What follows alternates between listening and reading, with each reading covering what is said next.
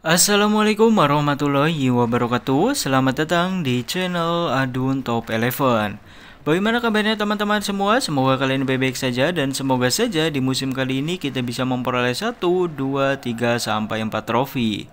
Oke guys, kali ini kita akan membahas pemain pengganti itu tidak perlu dimainkan meskipun lawan yang kita hadapi itu lemah Nah kali ini kita akan berhadapan dengan Sadon FC di mana kita unggul mutu cukup jauh sampai dengan 42% guys. Nah kalau laga-laga seperti ini itu kita perlu memainkan pemain cadangan apa enggak sih bang? Nah jawabannya tergantung. Tapi secara khusus itu enggak guys. Nah, alasannya kenapa kok enggak? Alasannya kenapa kok tergantung. Kalian lihat di bagian jadwal terlebih dahulu. Kalian ada jadwal laga penting ataupun enggak di selanjutnya.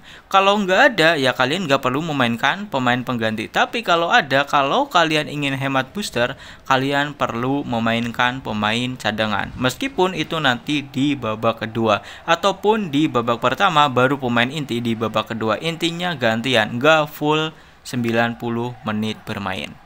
Oke, alasannya kenapa? Karena dengan memainkan laga-laga resmi, nah ini kan laga liga ya guys, kita akan mendapatkan bonus atribut yang cukup lumayan. Itu yang harus kita perhatikan dan itu yang harus kita pikirkan.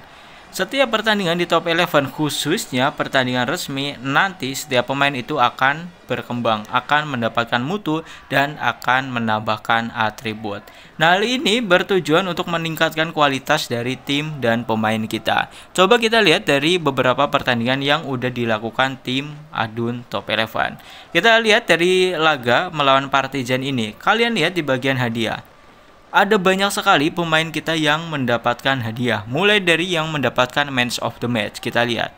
Satu umpan, satu penyelesaian, satu kali tackle, dan satu lagi. Ini kalau di total ada 1, 2, 3, 4% peningkatan mutu. Padahal kata kalau kita lihat Bakehog mutunya ada 127. Kalau kita latih buat buat tujuan meningkatkan mutu itu akan sangat lama meskipun hanya meningkatkan 4%. Jadi itu poinnya guys. Oke, contoh lagi kita lihat M Amin mendapatkan satu sundulan.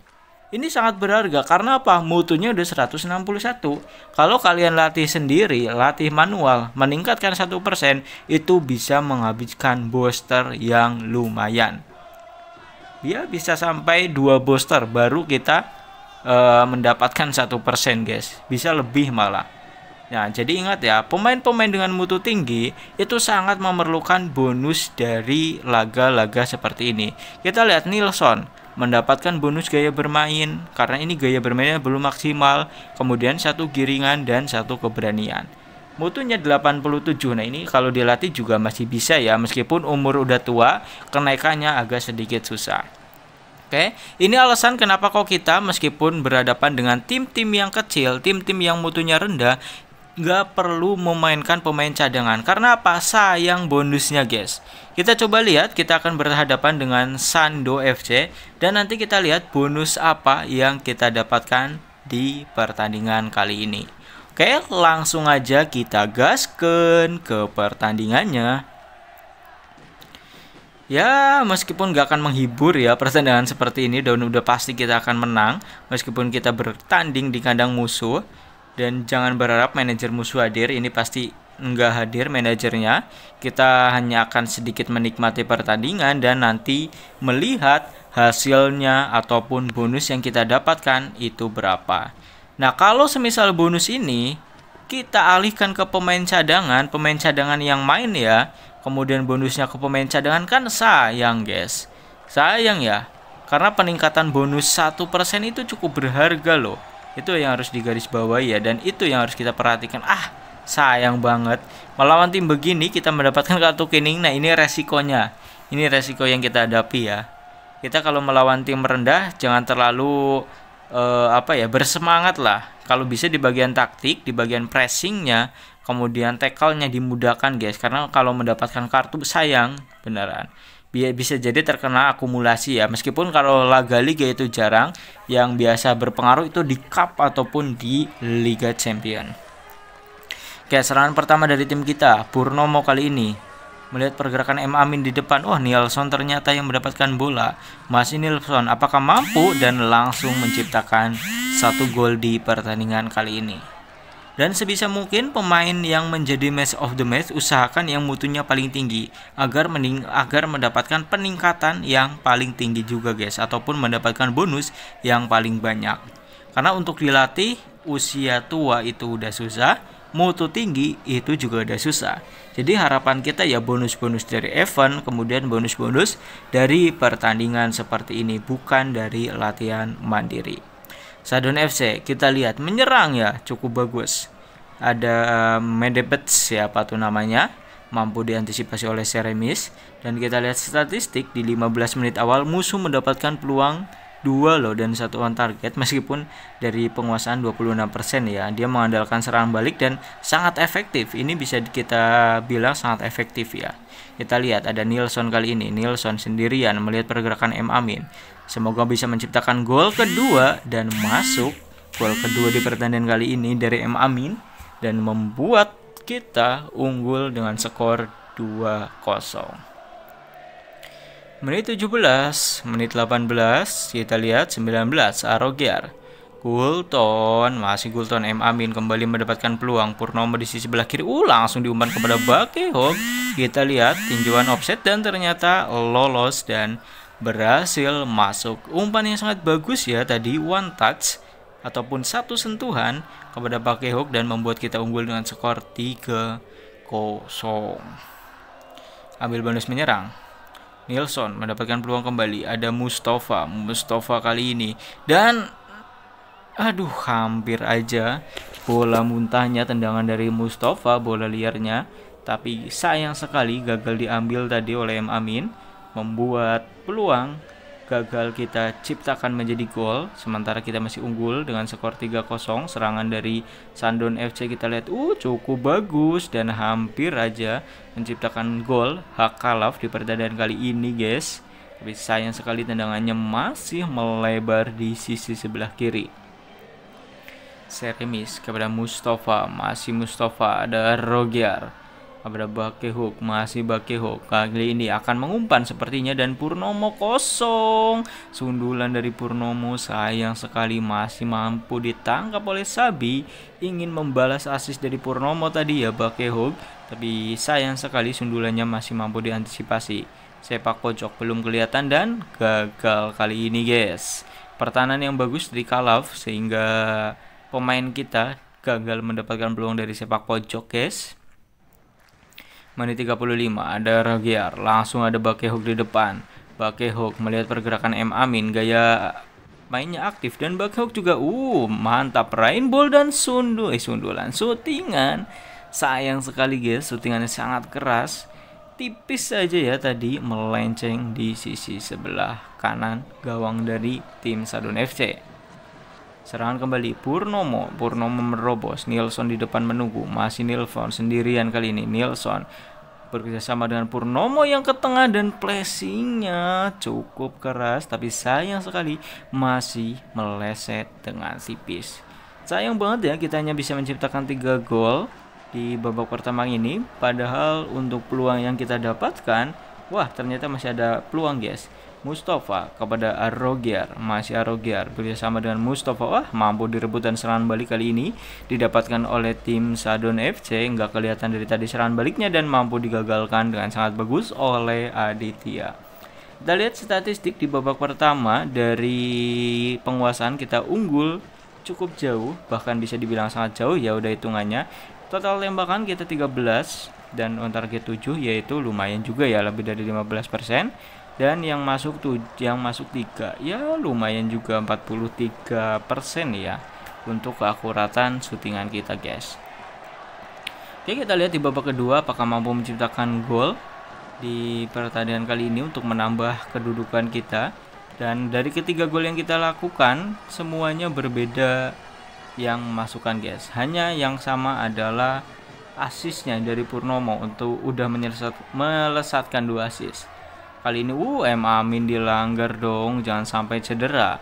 Kali ini mendapatkan kartu kuning Ibrahim dan peluang kali ini dari tendangan bebas M Amin sendiri yang akan mengeksekusi. Kita lihat tendangannya masuk guys M Amin selebrasi dulu dong dan kita berhasil unggul dengan skor 4-0 yuk 1-0 1-0 satu gol lagi dari M Amin akan dapat hat trick dan kali ini yang masih berperan sangat bagus di pertandingan kali ini adalah Nilsson ya sebagai gelandang serang tengah kita. Mampu digagalkan serangan balik kali ini dari sisi sebelah kanan. Kalaf pemain back ini guys sering membantu serangan dari Kalaf kali ini. Sayang sekali masih mampu digagalkan dan peluang dari Sadon FC kembali gagal. Ada Purnomo ternyata ya 8,7 kejar-kejaran dengan Nilsson kali ini penciptakan pencetak dua gol M. Amin. Poinnya hanya 8,0 karena dia lebih banyak menyelesaikan sendiri. Kita lihat uh Nilsson dilanggar cukup keras dan kembali kartu kuning didapatkan oleh Abderrahman dari tim Sardon FC dan M. Amin lagi yang mengeksekusinya. Tapi kali ini tendangannya masih mampu ditangkap dengan cukup mudah oleh penjaga gawang dari Sadun FC. Ya, menit 60, menit eh, 60, 63 kita lihat baru satu gol kita ciptakan di babak kedua. Gulton dilanggar lagi sepertinya. Oh ternyata lolos. Nilsson tendangannya sangat keras tapi sayang sekali masih melebar. Cukup menyusahkan penjaga gawang tapi belum cukup efektif ya guys untuk menciptakan gol. Satorce, Mustafa, kembali kali ini. Arogiar, ada Purnomo kepada Gulton kali ini. Masih Gulton melihat pergerakan Satorce di sana Nilsson menunggu dan gol dilesatkan oleh Nilsson. Dan sepertinya Nilsson akan menjadi match of the match ya guys. Dengan tambahan gol ini tapi kita lihat masih Purnomo ternyata yang paling tinggi nilainya Satorje melebar kepada Seremis. Seremis ada Sekoce lagi. Masih Sekoce dilanggar lagi dong gila permainan sangat kasar nah ini juga salah satu kerugian. Kenapa tim inti? Ya ini resiko sih. Dan kita masukkan waduh nggak ada. Kita masukkan Copart aja. Nah ini kita mainkan sebagai uh, back kanan ya. Ataupun back kiri. Ya aslinya back kanan kita taruh di tengah aja lah. M Amin kali ini ada Bakehog itu salah satu kerugian ya guys tapi kan itu jarang-jarang terjadi ya satu dua kali. Dan Gulton lagi Gulton dilanggar lagi dong pemain kita. Sampai mendapatkan kartu merah dong. Gila kasar banget mainnya guys. Gua agak nggak suka ya kalau terlalu kasar. Kita lihat M Amin dan aduh belum mampu menciptakan hat-trick padahal peluang sangat banyak dari M Amin. Baru dua gol yang berhasil dilesatkan. Dan kali ini ada Kopart yang masuk menggantikan Shator J padahal penampilannya sangat bagus Bakeho kali ini. Dari sepak pojok siapa yang menyundul? Mustafa dong.